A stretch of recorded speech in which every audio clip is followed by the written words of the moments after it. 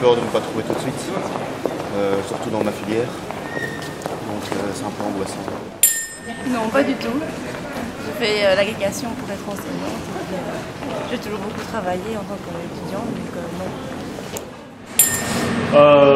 assez, oui, assez. Je pense qu'on vit dans une société actuellement où la place des jeunes n'est absolument pas assurée.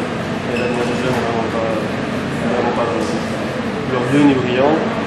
Et euh, voilà, et je pense qu'il faut clairement euh, changer radicalement de politique et changer radicalement de, de- de manière de voir l'emploi, de qu'est-ce que c'est l'emploi, qu'est-ce que c'est le travail. Euh, Ouais, quand même un petit peu, parce que actuellement l'emploi, l'emploi c'est un peu euh, un sujet un peu assez délicat. Donc, euh, ouais, donc, Donc, euh, on va avoir un plus tard après parce que euh, c'est pas